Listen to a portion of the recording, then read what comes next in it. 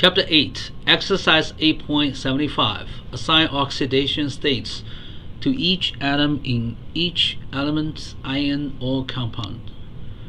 Uh, elements, silver, it's just zero, it's not charged at all. Ag plus, uh, when you see Ag plus, it's plus 1. Uh, the oxidation state is just plus 1 uh, it says signed integer so I'm gonna just put a plus sign there. Uh, separated by a comma. Uh, calcium is uh, plus 2 fluorine is minus 1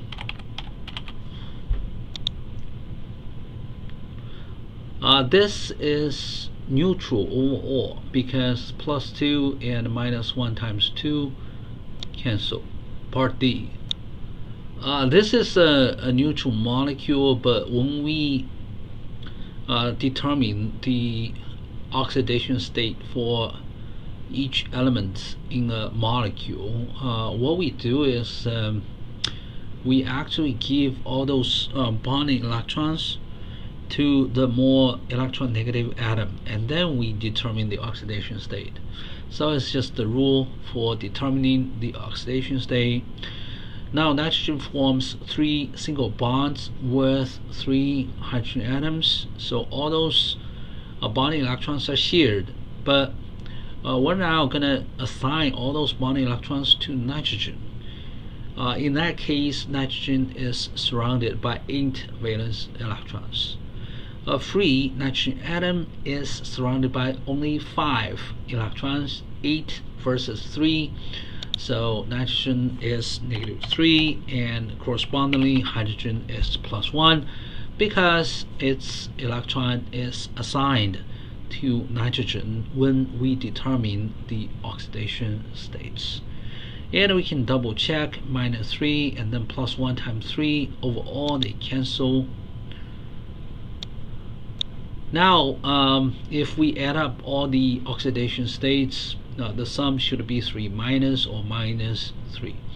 So in that case, uh, phosphorus has to be plus 5 because uh, oxygen typically is just negative 2. Negative 2 times 4, that's negative 8. You have to have a plus 5 on phosphorus. Alright, again, this negative 2 multiplied by 4, you get negative 8 from the 4 oxygen. And then plus 5 from phosphorus, and plus 5 minus 8 is minus 3.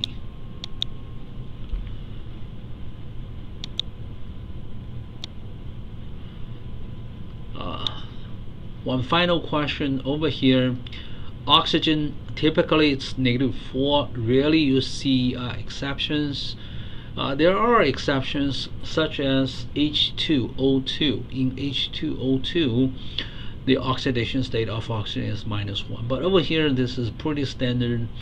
Oxygen should be negative 2 times 7 that's negative 14 uh, but the sum is only negative 4 from here. So therefore this V2 should be plus 10 because plus 10 minus 14 is negative 4. So V2 is plus 10, then each V vanadium is plus 5.